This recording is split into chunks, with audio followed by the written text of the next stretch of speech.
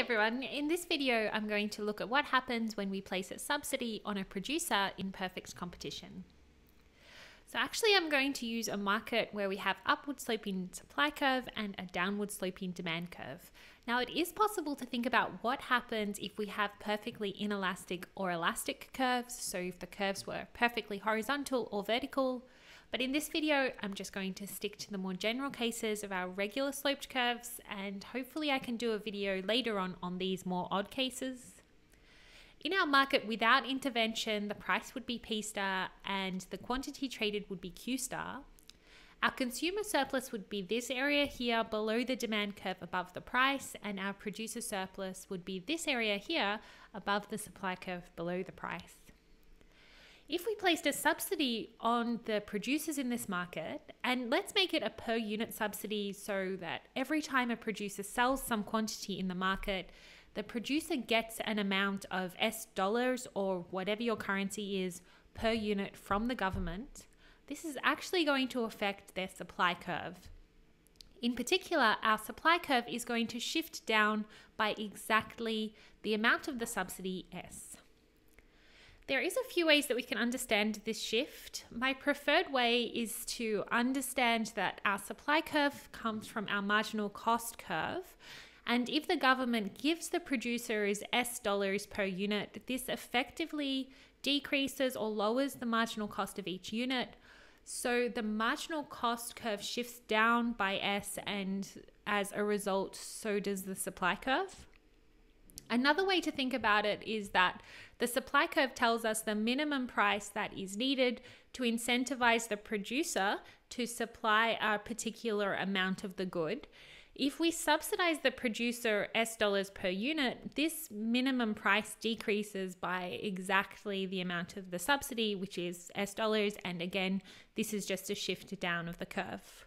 I think the key to understanding subsidies, and it's very much like taxes, is to understand that once we impose a subsidy, the price that the suppliers or the producers receive is now different to the price that the consumers pay.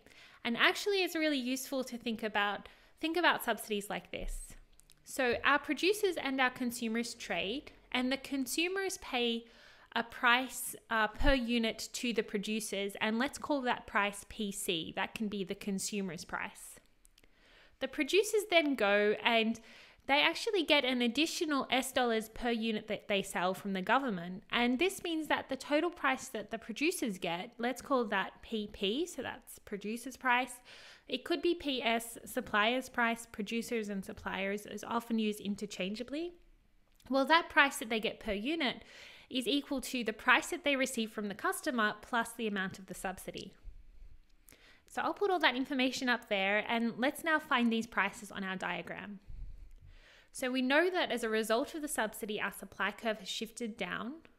The new equilibrium point, which is here, is going to isolate uh, the new amount traded, we'll call that Q prime, and also the price that the customers are going to pay per unit. And we've called this PC. Now we can find the price that the producers get per unit. Now, if you recall, the distance between our old supply curve and our new supply curve is exactly the amount of the subsidy.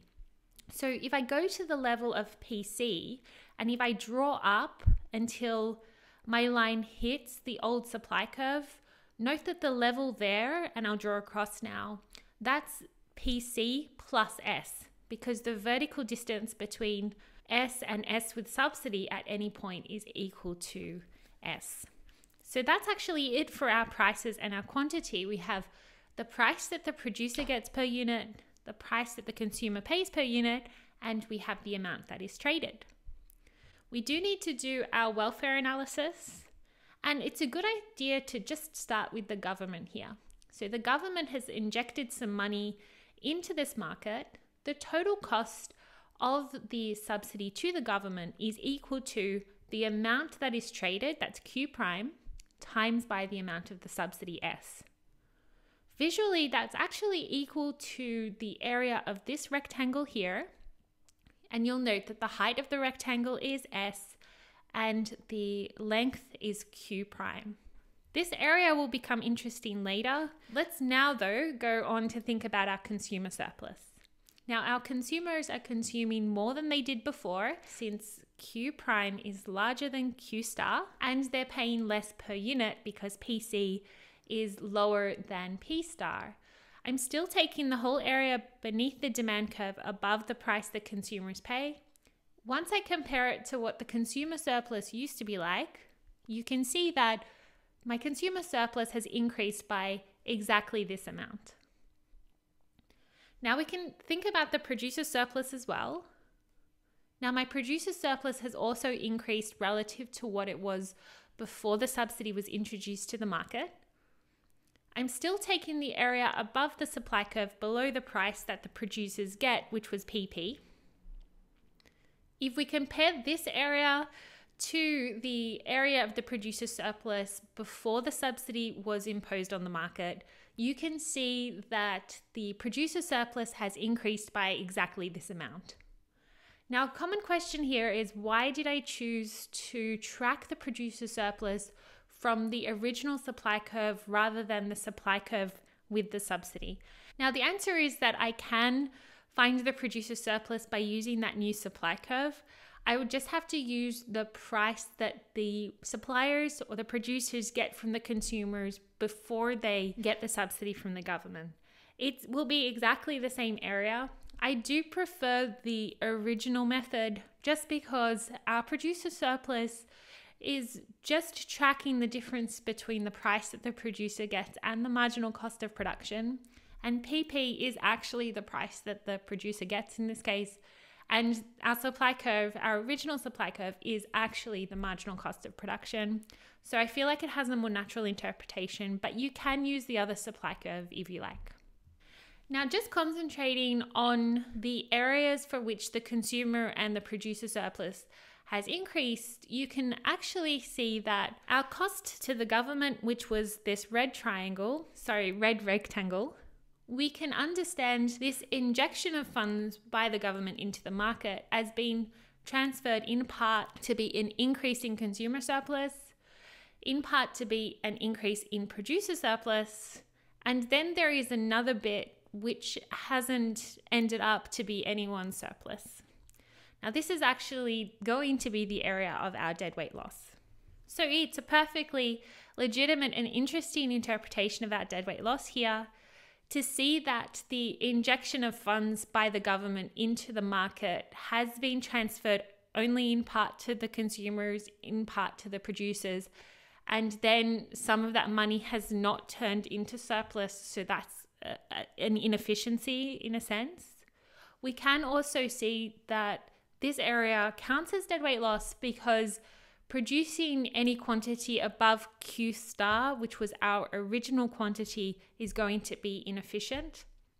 And if we were going to use this way of isolating dead weight loss, we would just note that the area between Q star and Q prime, the marginal benefit of consumption, so that's how much good that the consumers get from consuming those units, that's actually below the cost of production, the true cost of production. So we're producing where our costs are higher than our benefits. This is really bad for economists if our main problem, our whole entire reason why we're doing economics is because of the question of what we do with our scarce resources. The idea is, well, we better not be producing where our costs are higher than our benefits. So the levels of production here between Q star and Q prime, where our costs are higher than our benefits, but the subsidy has distorted the market in such a way that we are still producing them. This is bad and inefficient, and that's why it's dead weight loss. Okay, I hope that helped. Um, please like and subscribe if it did. I hope you guys are having a lovely night.